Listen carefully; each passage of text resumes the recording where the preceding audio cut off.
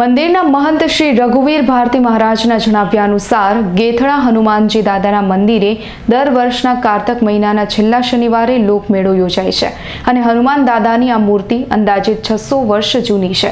છત્રપતિ શિવાજી મહારાજના ગુરુ શ્રી રામદાસ બાપુ સૌરાષ્ટ્રની યાત્રાએ નીકળ્યા હતા. તે દરમિયાન તેઓએ અહીંયા રોકાણ કરે અને છાણ, ગારા, માટી વડે હનુમાન દાદાની મૂર્તિ બનાવેલ, જે આટલા વર્ષો પછી પણ એ જ સ્થિતિમાં બિરાજમાન છે. ગેથડા આશ્રમ ખાતે છેલ્લા ત્રીસેક વર્ષથી લોકમેળો ભરાય છે અને આજના દિવસે સવારે પાંચ વાગ્યે મંગળા આરતી તથા સવારે સાત વાગ્યે રેગ્યુલર આરતી અને સાંજે મહાઆરતીનું આયોજન કરવામાં આવ્યું હતું.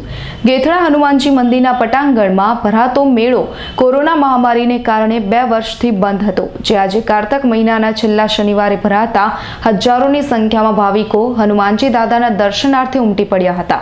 Deepaksinh વાઘેલાનો report S nine news Surendranagar.